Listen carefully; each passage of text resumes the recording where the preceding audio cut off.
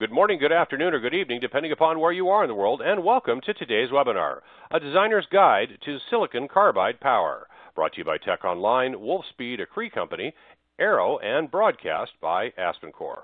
I'm Chris Keachin. I'll be your moderator today. We have just a few brief announcements before we begin. First, the slides will advance automatically throughout the event, and you may also download a copy of the slides by clicking on the green folder icon located at the bottom of your screen. You can participate in our Q&A session by asking questions at any time during this webinar. Just type your question into the Q&A text area located to the right of the presentation window and then click the submit button. Please note that we'll try to get to as many questions as we can in the time that we have left. If we're unable to get to your individual question today, someone will get back to you after the program is over. And also at this time, we recommend that you disable your computer's pop-up blockers. This will allow the slides to advance automatically throughout the event. At the end of the webinar, we will ask you to complete our feedback form, and your feedback will provide us with valuable information on how we can improve future events. You can also launch the survey at any time by clicking on the red survey button at the bottom of your console. Also, if you're experiencing any technical problems, please type your issue into the Q&A text area, and we will be glad to offer one-on-one assistance. And now, on to the presentation, A Designer's Guide to Silicon Carbide Power. Discussing today's topic is Guy Moxey, Senior Director of Power Products, Wolfspeed. Guy Moxey has spent his entire career in the power semiconductor industry with various roles in applications, product marketing, and product line management. His career has included employment at International Rectifier, Siliconix, and Fairchild Semiconductor. It's with great pleasure I now turn this special session over to Guy to begin. Guy, take it away. Thank you very much, Chris. And hello and welcome. As Chris just mentioned, Guy Moxey, part of the Wolfspeed Power team. And thank you very much, everyone, for attending this uh, one of four series of webinars around designing with silicon carbide. So it's going to be, we aim to be 45 minutes of uh, your valuable time to be educational and informative. And um, the reason behind the designer's guide to silicon carbide power is that we've We've seen many webinars recently um, that are around silicon carbide or wide bandgap, and they tend to be very commercial, um, which you can find out details of people's products from looking on their website. You don't necessarily have to log into a webinar. And also, I think we're past the stage where the basics of what what what is silicon carbide, everyone has some fundamental feel. So, realistically, we wanted to get down to the facts because we've noticed that after many webinars, there are always a series of questions around designing. These questions tend to be um, common questions around gate driving. How do I optimize the system for efficiency, power density, EMI, short circuit? Can I run the MOSFET at 175 degrees C. Common themes of questions. So this prompted us to really put together this series of um, design-related webinars that are going to walk you through a lot of these and answer them um, to your satisfaction. But before we do, I'd like to pass it back to, to, to, Chris because we're going to have a very, very quick poll because this is designing with silicon carbide. The poll is about your status of design. So, Chris, do you want to run the first poll? All right, thank you, Guy. So we have three polling questions for you today. This is the first of three. To participate in our poll, simply click on the radio button next to the answer that's appropriate for you, and then click the submit button. Our question here for you uh, Have you designed with silicon carbide before? Your answers could be yes, this will be my first design, I'm considering, or not yet. And again, just go ahead and click on the radio button next to the answer that's appropriate for you, and then click the submit button. We'll give you a few moments to go ahead and submit your answers. We encourage your participation. Also, if you'd like to ask a question, you can do so at any time by clicking on the Q&A icon, typing your question in, and then we'll get to those during our Q&A session coming up at the end of the program. So let's give you just a moment here more to input your selection, and then we'll take a look at those results. All right. Thank you very much. Now at what we have. And we have uh, 33% said yes, 15% said it'll be my first design, 18.2 said I'm considering, and not yet was about 33 as well. So, Guy, your thoughts on the results? Yeah, that's a very interesting set of results. It's nice to see a third of people have designed with silicon carbide before, which shows the maturity and uh, how this technology is getting entrenched in the market. And obviously, this uh, these series of webinars are going to be around the second, third, and fourth um, poll of answers to help people along the way to remove those barriers. So thank you very much. An interesting set of results. So, what are we actually going to get stuck into over the next 45 minutes? Very briefly, we're just going to re, uh, reintroduce and, and, get us all aligned on the silicon carbide landscape and why people are working with silicon carbide. Then we're going to walk into losses. Uh, losses obviously fall into two categories, which are conduction loss and switching loss. We're going to address both of those. And then that, that ties us nicely into switching frequency, which is one of the many, many um, common questions we have. What is the optimum switching frequency for silicon carbide?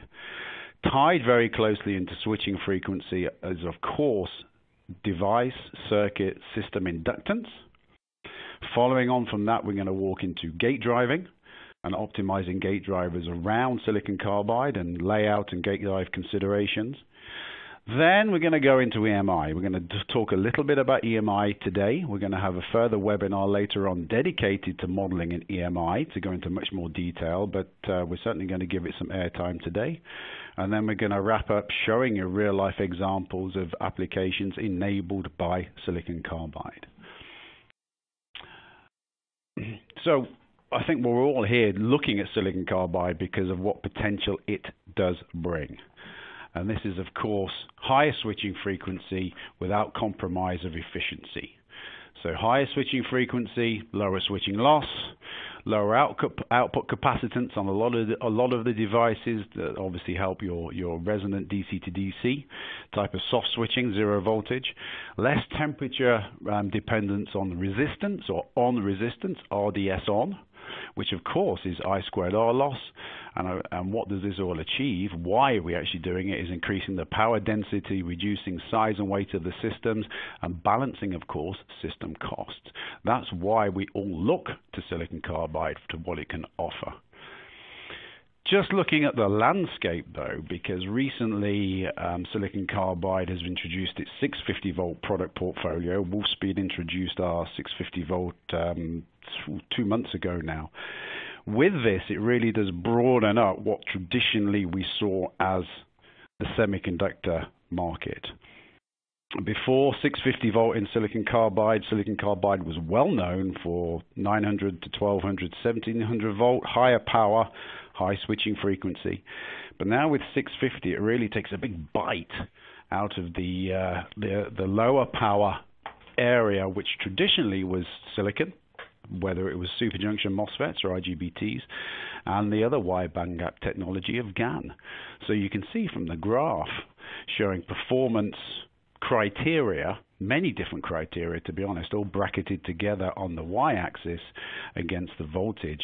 And now with silicon carbide, the purple, the purple side, we can actually see how it uh, really does encroach into a much larger section of the landscape usable, introducing the same value proposition of performance. And just to restate as well, this is not for tomorrow. This is not a technology that will become into the market, will be used. This is a technology that's here today. It's mature and it's proven. Some of the biggest barriers to adoption are maturity, supply, reliability. That is all. That has all been completely and utterly accepted.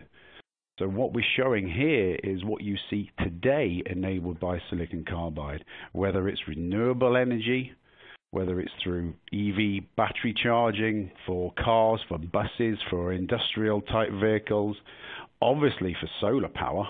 It's been entrenched in solar power, server farms, cloud computing farms for many, many, many years. And then now with the uh, the larger die sizes in the market, we can see very much it's been brought into the higher power area, for example, trains, traction, that sort of type of application. So it's really enabled these markets. People are designing very strongly and heavily with silicon carbide today. From a Wolfspeed side, of course, why can we enable these? it's a large, mature, entrenched product portfolio ranging from watts through to megawatts. 600 volt, 650 volt, 900 volt, 1200 volt. In development, going above 1200 to 17, and then breaching out into the 3.3, 6.5, and 10 kV. From 2 amps through to hundreds of amps. So this gives a wide portfolio to design with. Product is out there not just one or two MOSFETs anymore and a handful of diodes. There are significant product portfolios out there to choose and optimize with. So really, let's start focusing down on the details. Fundamentals, folks, real fundamentals here. RDS on. Now, I know this sounds so basic, but it's amazing how many times this gets overlooked. RDS on over temperature. So we are so used, predisposed to look at RDS on, of course, at a datasheet at 25C. Nobody uses a part at 25C. So when you look at the different technologies available, track it out. Look at the normalized curve going out to your optimized temperature, junction temperature. Typically 120 to 140 C. Silicon carbide is rated to 175. So obviously you have a few degrees higher usage. But please look at the data sheet because what you're going to find is that huge difference in RDS on over temperature against the different technologies. You can see from this graph silicon, you can see silicon carbide, and you can see GaN. Silicon and GaN both increase roughly 2 to 3x over temperature. So I squared R 3x over temperature. Silicon carbide, and this obviously is showing Wolfspeed silicon carbide, typically increases 1.3 to 1.4x over temperature. That is a considerable difference. So when you pick out a data sheet and it says 60 milliohm for silicon or GaN, it's probably going to be 120 to 150 milliohms hot. If you pick out a 60 milliohm data sheet from Wolfspeed silicon carbide, it's going to be 90 milliohms hot. If you pick out a 90 milliohm data sheet, it's going to be 120 milliohms hot. So basics, basics, please check the data sheets thoroughly. It's amazing how much this gets overlooked. So you specify I squared R of the correct device. Otherwise, you're overrating the device that's going to cost a lot more. Okay, next question on against the conduction loss again, but this time in IGBT. Why does silicon carbide MOSFETs win through IGBT? We don't have a knee voltage. IGBTs, of course, are optimized for full, full thermal design point. So you're optimizing for full current, full rating. And then below that, you have this exponential VCE SAT knee voltage curve, where of course a MOSFET is a linear line. So at 100% rating, both losses are matched. But then 99% and lower, the MOSFET has a lower conduction loss or the equivalent conduction loss. This is why we see examples like EV drivetrains, which are battery powered, and also the drive cycle is pretty much mostly below full rated power. And this is where that uh, linear VDS curve of the MOSFET absolutely shines through versus the knee exponential curve of the IGBT. Put devices in parallel, and of course, the the problem becomes even worse for an IGBT because you have that fixed VCE VCE curve. So again, conduction loss, RDS on against temperature, and the lack of knee voltage. It's basics, but they really need to be taken into effect as we walk through the design cycle. Moving to switching loss. This is a very interesting topic. I dug out some uh, textbook numbers on switching loss. What is the effective switching frequency? This is a fairly standard formula taking a, from a datasheet, taking IC rated using a 50% duty cycle, so hard switched, okay, and working what is the effective switching frequency without violating any datasheet specifications. Shown in the graph, um, in the chart, sorry, are a handful of Wolfspeed MOSFETs using the ESF, which is power dissipation max minus one minus duty cycle over total switching energy. Again, take it at datasheet values using RG datasheet. And you can see the theoretical hard switched effective switching frequency ranging from 750 kilohertz down as the, the RDS on lowers to 144 kilohertz.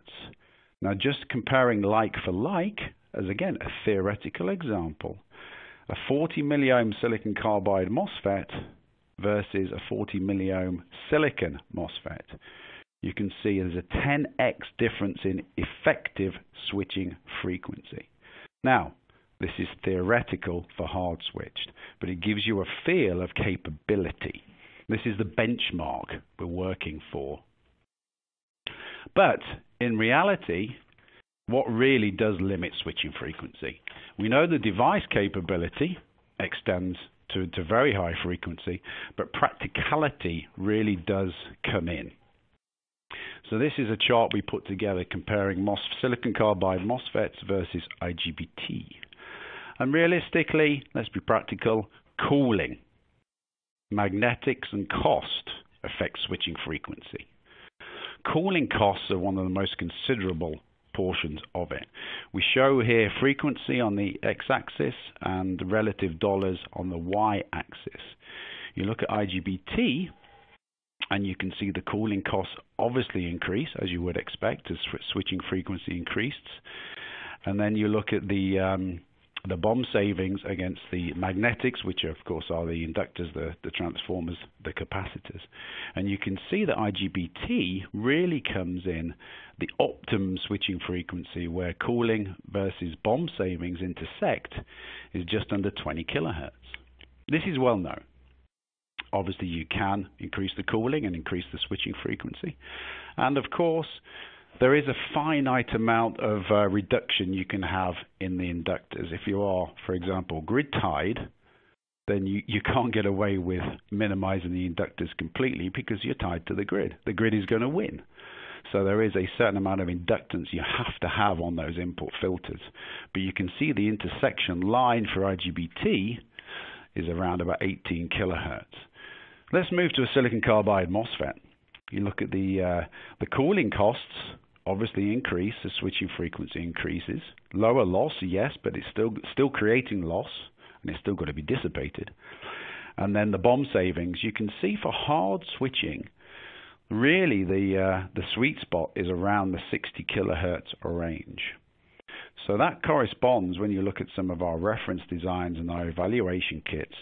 The totem pole uh, design, for example, switches at 67 kilohertz. Solar boost two channel boost for a string inverter switches at 48. You can see that sort of zone for silicon carbide, the intersection between cooling costs and BOM savings. But when you compare the two, there's roughly a 20 to 25 percent improvement by implementing silicon carbide in the system. So this brings us back to the question of system costs yes, generally speaking, the silicon carbide product will be a little bit more expensive than a silicon product. But when you look at the overall system saving by optimizing that switching frequency, then the system level savings typically are improved with silicon by implementing silicon carbide.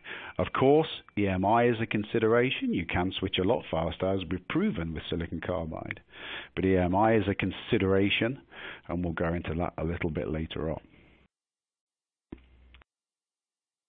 So, just summarizing very quickly between losses of conduction losses and switching losses, when you look at a design, what is going to be your main consideration. So, Chris, are we ready for the next poll? Absolutely, Guy. This is our second poll uh, of the evening, uh, or of the day, I should say. Uh, looking at system costs, what are the primary factors in your design?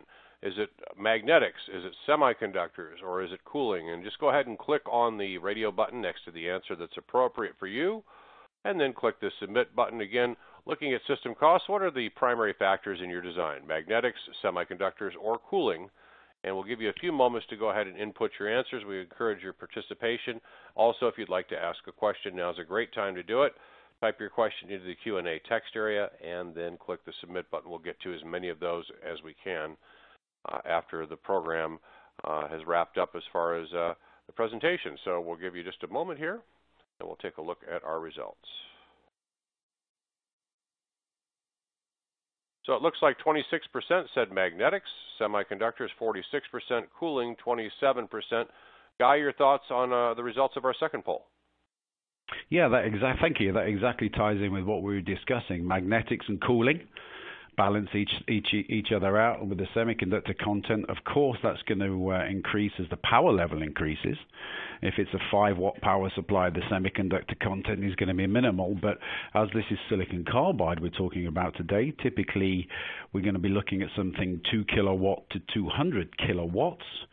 So the semiconductor content would naturally shine through but I'm hoping that uh, we've all seen that the uh, the magnetics and the cooling can be optimized by using the silicon carbide content. This is just another example showing the, the impact of switching loss.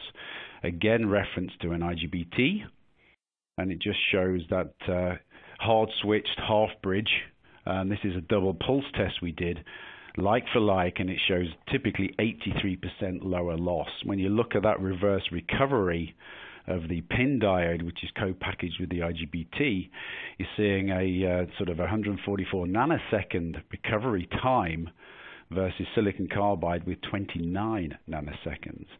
And look at the ringing, look at the overshoots. We we drastically cut down that uh, loss, but we don't introduce significant ringing, which of course is an EMI concern, which we'll cover later on.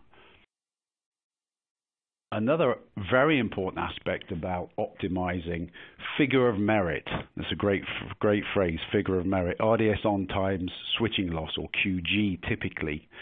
But when we look at um, some datasheet products, you've got to really look very carefully because this is a great example from our module team, which is the XM3 modules that we've recently released. Very, very, I think the, the highest power density modules in the industry we have a 4, 450 amp module versus a 400 amp module. Now this is hot at 150 degrees C and you can see there's an inflection point around about again 18 kilohertz between the two modules, one being lower current, one being slightly higher current.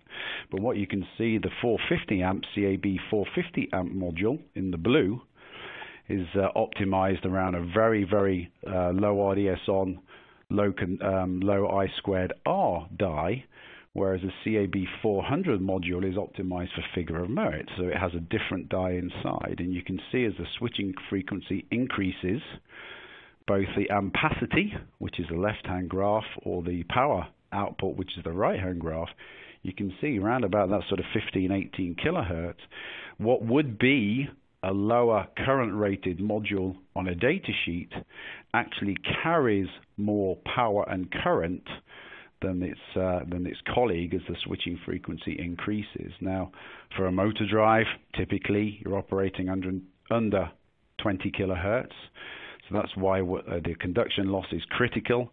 But then if you're moving to more of a static power type of application as a DC to DC or a or even a DC to AC uh, inverter for, say, a solar solar application, then you could be ranging up to 40 48 to 60 kilohertz operation, as we discussed.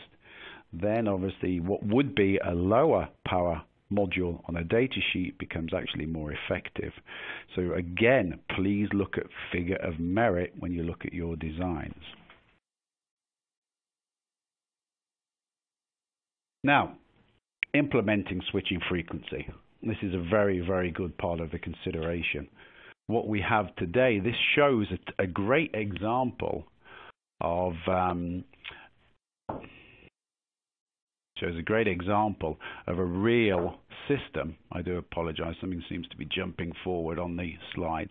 It shows a real system when we look at the magnetics. This is a, a direct impact of switching frequency. This is a 200 kilowatt UPS system that we've worked through and modeled. IGBT-based system working at 16 kilohertz. Again, when we showed the uh, effective switching frequencies and the optimum switching frequencies of silicon, we came to 16 to 18 to 20 kilohertz. So as you would expect, IGBT operating at 16 kilohertz. Moving to silicon carbide, we optimize now for higher switching frequency without compromise of loss, in actual fact with improving losses, 48 kilohertz. What effect does this really have? Of course, cooling, huge. There's a significant difference in losses. IGBT at 16 kilohertz is just under 400 watts of loss. Silicon carbide at 48 kilohertz is just over 200 watts. Incidentally, if you could operate IGBT at 48 kilohertz successfully, you're going to be dissipating nearly 900 watts. But the effect of this, of course, is on the size of your magnetics. We discussed about the reduction in magnetic cost and size. This is a real example. The inductor here goes from 1.2 millihenries for IGBT to 0.4 for silicon carbide. This is roughly a 2.5x reduction in cost. Now, obviously, we don't manufacture inductors, so the actual cost can be debated. But taking relative values from what we see in the market, the, the IGBT inductor is 2.5x the cost. And of course, that's a considerable difference in weight and size and loss. This is the effect of optimizing switching frequencies. Yes, we could go higher in switching frequency, but I will say practical considerations come in that uh, if you do, especially at 20 kilohertz, um, 20 kilowatts, if you do go much higher in uh, in inductors in frequency, you get to exotic materials, which of course then negates the the cost saving because you pay a lot more for the exotic materials of inductors. So we wanted to show you this because this is a good dose of practicality. Finally, just summarizing like for likes. What are the advantages of silicon carbide? The top charts show devices in parallel. These are two random devices in parallel. We took these weren't binned. These were just taken directly from actual. In fact, we bought them from catalog to make them this as neutral as possible. And it shows two devices operating parallel, how nicely they share. PTC um, characteristics of the devices mean ensuring pleasant current sharing. Lower RGs, um, internal RGs help the dynamic current sharing, and obviously threshold is inversely related to temperature to help balance the power dissipation. A couple of other small things to point out, just again to help your design considerations. Ruggedness, VDS ruggedness, voltage breakdown. Silicon's been around for a very, very long time. This is the lower left graph and a typical IGBT are rated at 1200 volts will probably roll over about 1250 volts. Silicon carbide, because it has to be more ro robust and more rugged, would typically be rated actually a lot higher. Datasheet will say 1200 volts, but breakdown, as you can see, will be quite a few hundred volts higher. Now, we don't obviously uh, support violating any datasheet parameters, but this comes into a big effect when you have to derate. If you look at something like cosmic radiation, um, terrestrial neutron uh, effects, then obviously you have to derate as altitude increases. This is where the robustness of VDS, of silicon carbide, really shines through. And finally, we've talked about this a little bit before, but this just shows what a huge impact reverse recovery has for a silicon carbide diode this shows you here body diode. This one, this is not a separate Schottky in parallel. The right hand chart shows a 650 volt silicon carbide versus a 650 volt silicon MOSFET. And basically the QRR of the silicon MOSFET body diode, 13,000 nanocoulombs. This is actually measured versus 11 of the silicon carbide MOSFET. So less than 1% of the QRR. So when not so important, obviously, when you're soft switching or when you're asymmetrical, but if you're symmetrical, bucks, boosts, or half bridges, hard switching, that reverse recovery of the MOSFET is critical. Totem pole PFC, for example. moving on to, again, some fundamentals, folks, but so simple that it often gets overlooked. Kelvin source. You see it in silicon from time to time. It's critical in silicon carbide. Three pin versus four pin. Very, very straightforward. Basically, the three pin has been around for a long time, drain gate source. And of course, with the four pin, it introduces a Kelvin source, so it eliminates that source inductance out of the three pin. That source inductance basically pushes back against the gate driver when it's implemented. It adds to the CISS, of course, and that slows down the switching loss. You can see there the typical switching loss of a three pin device versus just simply taking the same die but putting it in a four pin package and implementing into the system. You get a huge reduction in switching loss just by implementing a four pin package.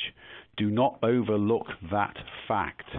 This just shows the total energy very clearly. The TO247 package, okay, same RG internal and external and internal RG, the same die using these devices. You see that the TO247 3 lead has nearly 450 microjoules of uh, total switching loss. If you literally take the same product but in a 4 lead package, K package we call it, it has basically 200, just 150 uh, microjoules of loss. Obviously, moving to something like a surface mount with more pins, a D2PAK 7 lead would be even better. So please do not overlook some of the very, very simple basics. Moving on to gate drive, and this just shows how we can do a like for like comparison. This is taking, sorry, this automatically keeps jumping without me touching it. I do apologize looking at a side-to-side comparison of looking at conduction loss and switching loss. What we're doing here is showing a DC to DC is 400, roughly 400 in, 48 volts out. So this is a typical server type of application. This is taking silicon versus silicon carbide. And again, remember the RDS on over temperature?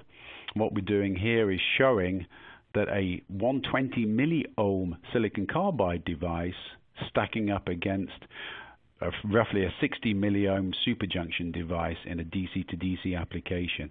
You can see here efficiencies are very tightly grouped together. There's no compromise in uh, in efficiency.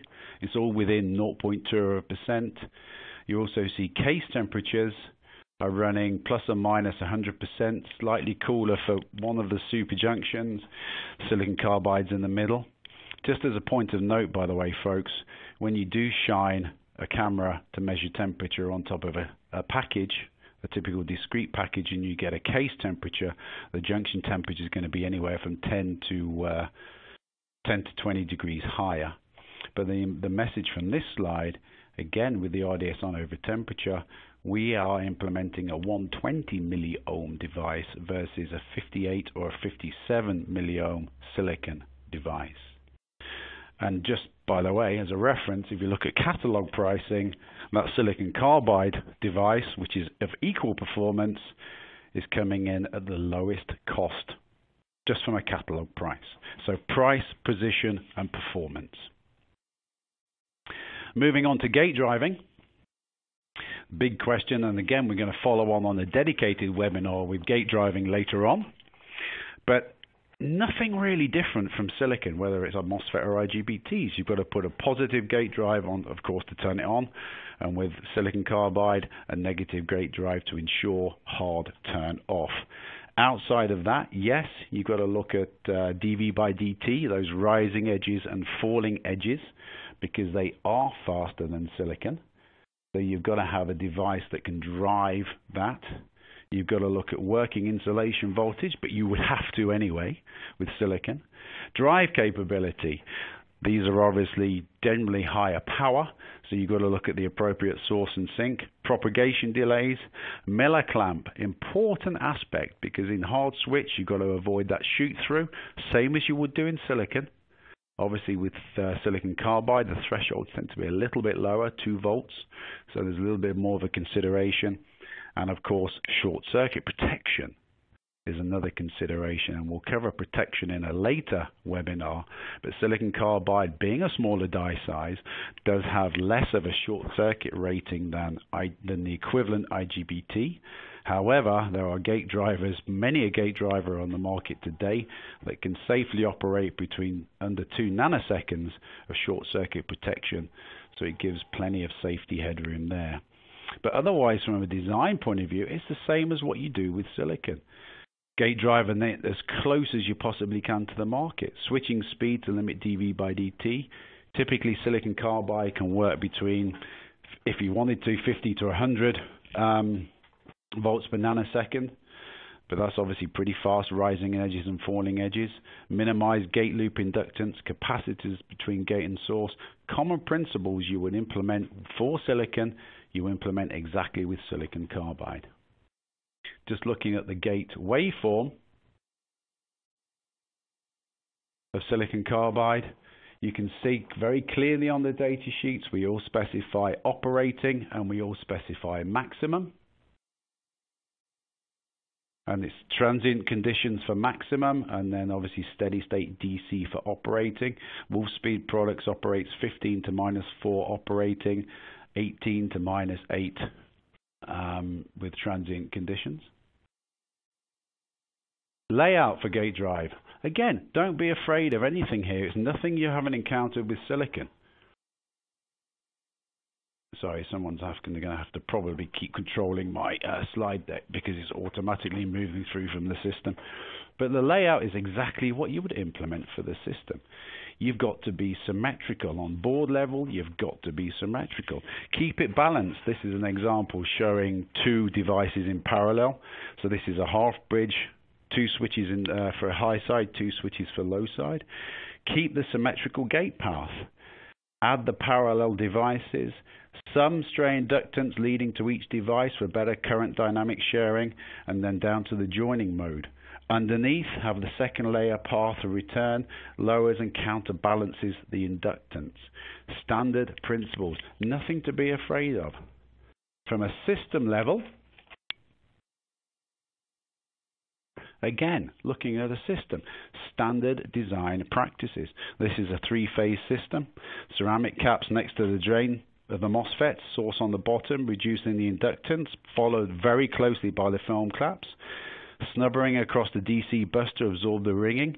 This is standard practice. Symmetrical phase balancing between A, B, and C. Con control signals coming off and on in a symmetrical way. Plugging through the board. Optimum copper area for switching noise, reducing radiated EMI. Nothing out of the ordinary, folks. The time for our final poll. And Chris, I'll pass across to you. All right, thank you, Guy. Uh, this is our third and final poll here. Uh, this one says, what driver is your, uh, what is your top concern when selecting a gate driver? Is it DV/DT? Is it negative voltage? Or is it short circuit protection? And here you just, again, select the radio button next to the answer that's appropriate for you. Click the submit button. This is our final polling question, and we would like your participation in this one. We'll be moving on to the Q&A here shortly, so now is an ideal time to go ahead and submit your questions. We'll get to as many of those as we can in the time we have left at the end of today's program. Uh, if we don't get to your question today, someone will get back to you after the program is over. And again, our question, what is your top concern when selecting a gate driver, DV/DT, uh, negative voltage, or short circuit protection? And we'll take a look at those results here momentarily. And it looks like 47% said DV/DT, Negative voltage was 17 and 35% said short circuit protection. So, Guy, your thoughts on our final polling question? Thanks, Chris. That's exactly what we would have expected. dV by dt because of the, the, the fast capability of silicon carbide. Negative voltage, Yes, you have to create it. It does cause a concern, but very popular with IGBT anyway. And short circuit protection, I briefly discussed it earlier. Yes, it is an Achilles heel of all silicon carbide, but thankfully our gate drive colleagues have brought out technologies that can uh, solve that problem. So good answers.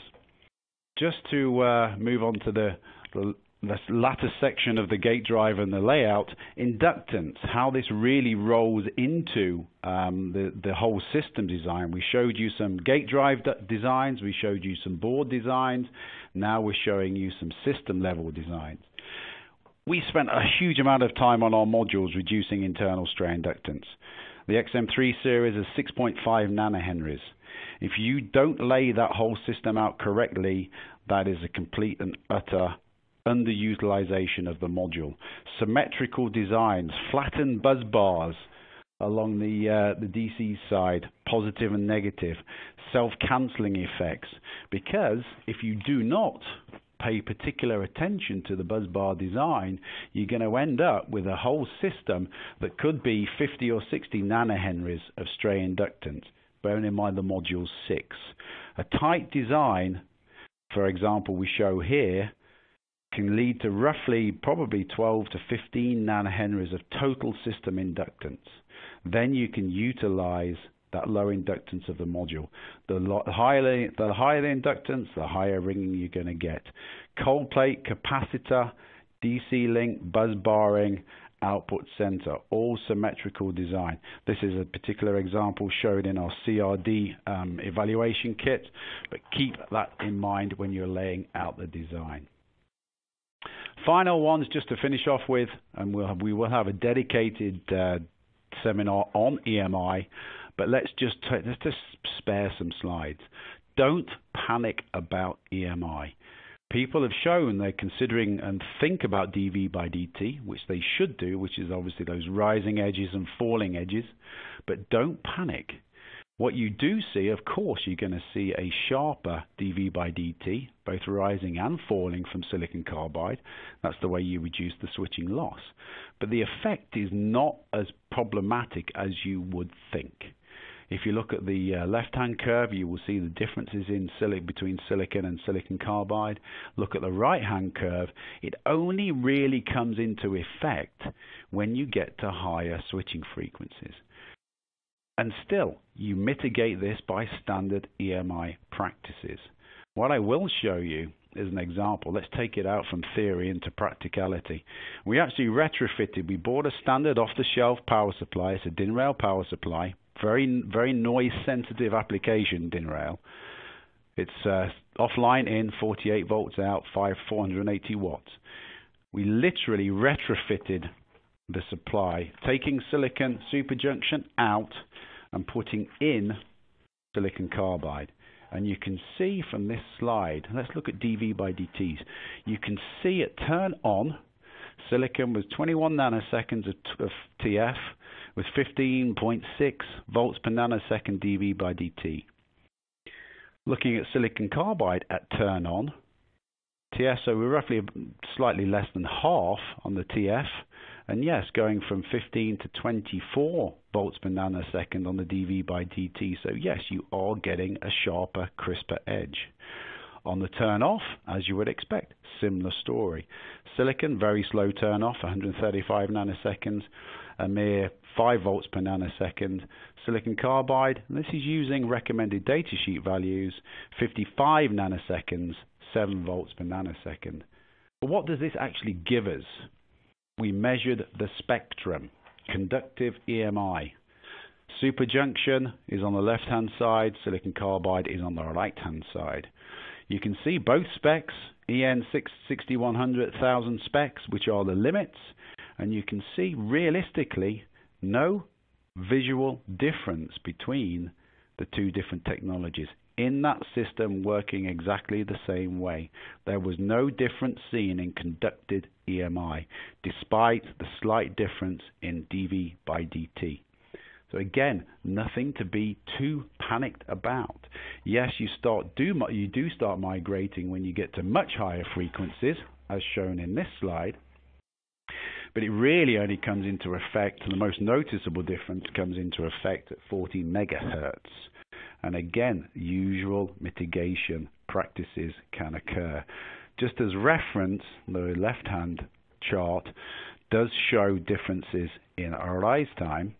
We have three different rise times there shown, and it only really started to make an effect at 5, 3 to 4 megahertz, 5 megahertz, and that is a very, very small difference. So change, really changing the rise times and optimizing RG still does not have a massive effect on the EMI. So really with EMI, and again, we'll go into a dedicated webinar, but don't panic. It's all okay. Silicon carbide does enable switching frequencies much higher than silicon and without the compromises of loss and has higher dV by dt, but this has little effect that we've seen on normal design frequencies. EMI filtering, same method, same mitigations. So just wrapping up, and I do apologize for the slides dancing around somewhat. It was out of my control. But you will be able to download lists afterwards and get them all in the correct order and in much more detail. I please encourage you to do that because what you will see as you embark on your design uh, projects, you will see that silicon carbide really does make a difference and is being used today. This is not just us showing these designs. These are real application people's systems. This ranges again from watts to megawatts we show in the left-hand side 10 kilowatt solar inverter, how the difference between IGBT and silicon carbide. The bottom left-hand side is an EV drivetrain showing 120 kilowatt IGBT versus 180 kilowatt silicon carbide. Look at the difference in power density there. Let's go down to down power, showing on the right hand side a 220 watt LED power supply, little switch mode power supply flyback showing the difference in power density between silicon and silicon carbide. And then the bottom left, we have two. We have the 200 kilowatt UPS example I showed you earlier on on the magnetics. This is the cooling and the module um, effect. And the final bottom right, very interesting design.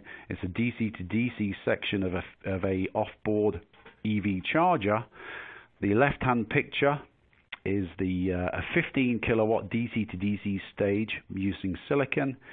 The other side of the uh, phone is a 20 kilowatt DC to DC stage using silicon carbide. And you can see just from those quick glancing at all of those pictures the difference in power density without compromise of efficiency and without compromise of system cost tools, where can you start start really getting stuck into this? We do quantify all of what I've said, and it's been very briefly 45 minutes of covering a lot of ground. But on the Wolfspeed website, we have demo kits, we have hardware designs, we have digital designs, we have evaluation kits, and we have simulation. Please go on to our website. There is a wealth of supporting applications, tools, and designs.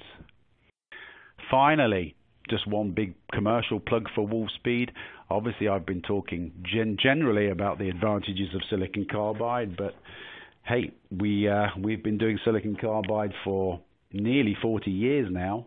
We're investing a huge amount of money because this market is exploding and people want guaranteed supply of capacity.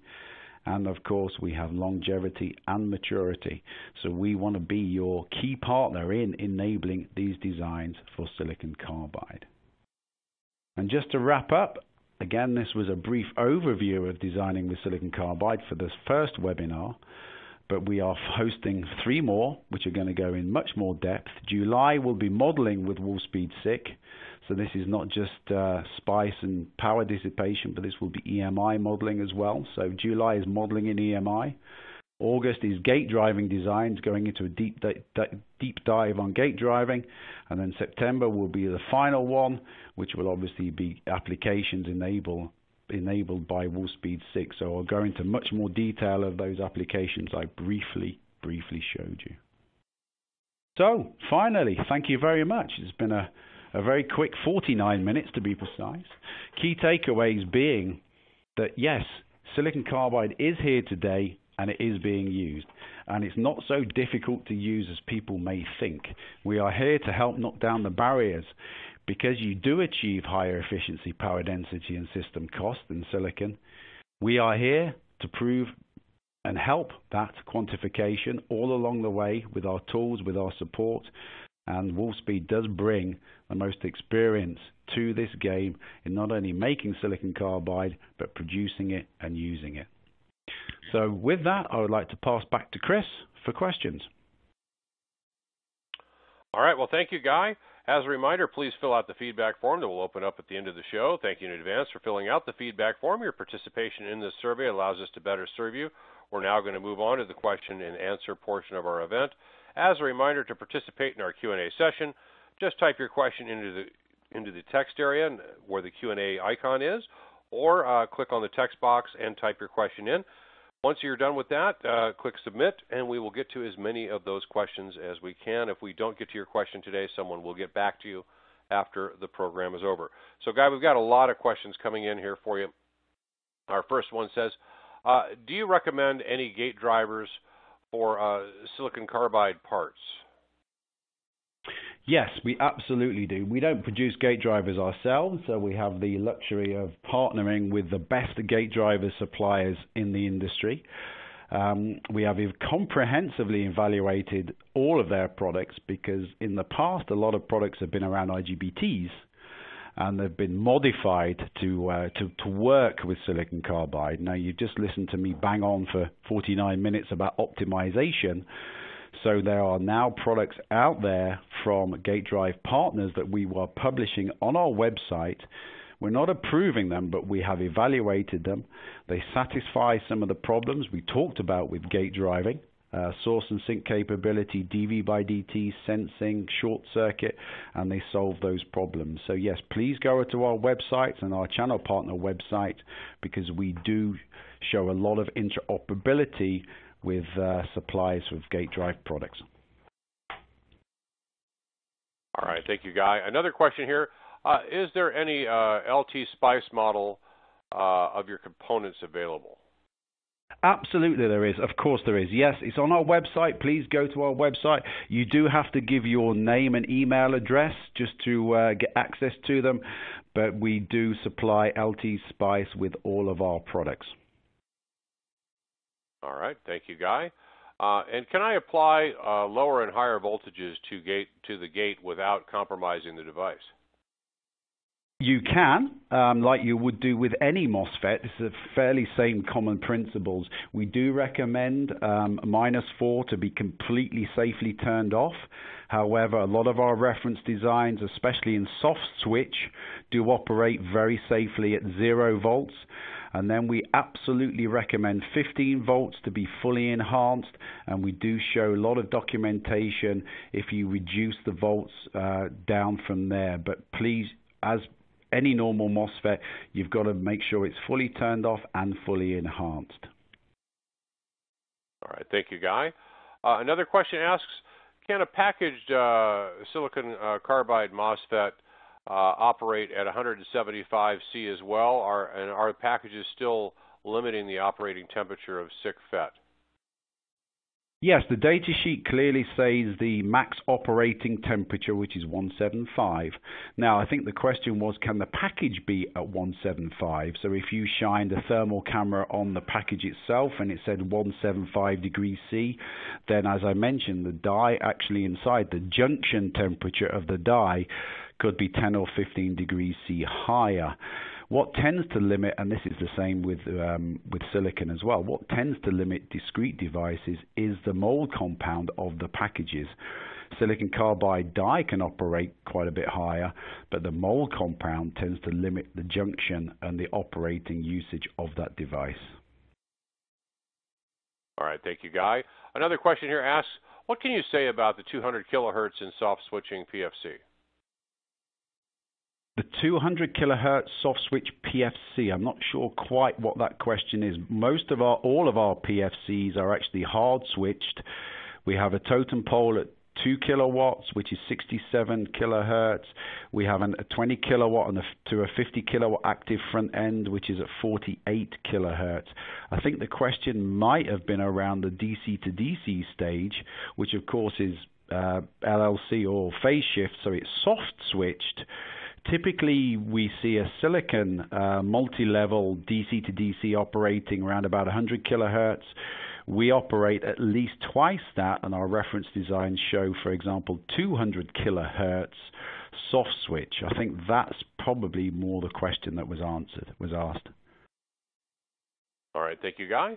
Another question says, please define the effective switching frequency again. Uh, and uh, thank you in advance. Uh, let me uh, just run back to that slide. Yeah, this was taken actually out of a textbook because it was a, a, a neat way to really look at it. It's basically um, the maximum switching frequency in a hard switched application. So again, hard switched, the device can sustain at, uh, at, IC 100, which is rated amps with a 50 degrees C square wave duty cycle. So a symmetrical on high side, off low side, on high side, off low side, without exceeding datasheet values. And the formula is there when you look back. Please download the presentation because you'll see the formula.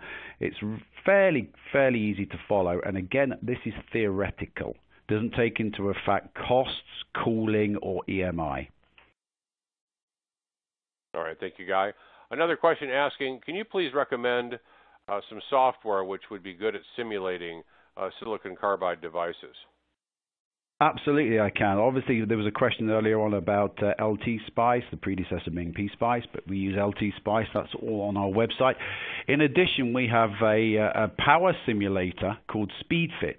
This again, you have to uh, donate your email address to to get access to, but it is an excellent um, power simulator, we have inputted all of our common topologies that are used within what we see as silicon carbide, ranging from soft switches to hard switches to single switches to flybacks to full bridges to six packs and then you put in either your your heat sinking, you clamp it, or you put in your RTH, choosing the devices, and then and then simulate duty cycles, input output, and it basically gives you the waveforms, the power dissipations, and the theoretical junction temperatures. It is an excellent tool even I can use it, so it's pretty straightforward, but it gives you a huge amount of, uh, of results and data. All right, thank you, Guy. Another question here says, uh, what is a typical SiC MOSFET uh, DVDT? It depends on on generation, and of course, I can't comment for our, our the competitors' products, but we typically would see anywhere from 20 to 50 to 60 volts per nanosecond. We are rated higher than that but um, if you're going at above 100 volts per nanosecond, that is incredibly fast. I can't really think of that much of a uh, an application that would use it, and that would be starting to violate some data sheets. So really, typically, and I showed you some examples earlier on, you'd see very commonly anywhere from 20 to 50 volts per nanosecond. All right. Thank, thank you, Guy. Uh, we've got another question here that's coming in. Uh, some of the data sheets show zero reverse recovery current, although the reverse recovery time is 29 nanoseconds. Does it mean that the reverse recovery loss is negligible?